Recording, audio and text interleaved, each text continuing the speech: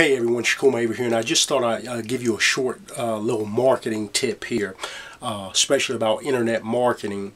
Uh, you see, most people fail in internet marketing for one, a few reasons. First of all, they don't take enough actions and they don't do the things that they're told to do to be successful.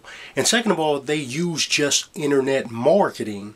You see, the most successful internet marketers don't just use internet marketing. They use other forms of marketing, such as direct mail marketing. And the beauty of direct mail marketing is people aren't doing it anymore. You know, in the 2000s today, here we are in 2013, no one's getting mail anymore. No one's receiving mail anymore. And this is one way that you could stand out in your business. You could use internet marketing to draw people online to your website, just like it is internet marketing.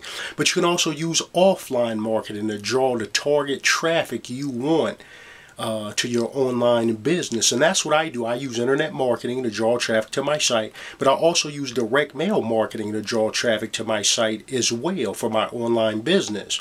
But not only do I use postcards, postcards are great, uh, they're cheap, they're only 32 cents to send out. You can send out 100 postcards for $32. But my postcards are a little bit different from other people's. I really make my marketing fun. And that's what it's all about. Anytime you're doing any type of marketing, you want it to be fun, entertaining, uh, and catch people's eye, catch their attention. After all, that's what marketing is all about. Standing out and getting noticed. I like to use these kind of postcards things like this. This looks cheap, but is effective. It's a cheap postcard, but it's really effective. Of want more leads? This is specifically for my trade show market right here. Also, check this out. These are really fun. Look, I even use comics on my postcards.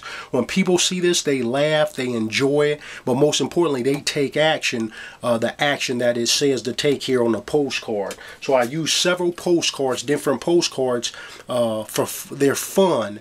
Uh, they're eye-catching, and most importantly, they get results. So I just wanted to leave you with this tip. Postcard marketing. Start using postcard marketing in your business uh, whether you're an online marketer or offline marketer, use all the sources of marketing that you can because it'll help you in your business, it'll help you generate more leads and uh, be more profitable in your business. So when putting together your marketing, whether online or offline, make it fun and entertaining for the people that's receiving uh, the marketing piece. I'm Sukuma Maybe I thought that little tip would help you out uh, take action. I'll post a picture on this blog post of one of my postcards that I use. And if you have any questions, feel free to reach out and contact me.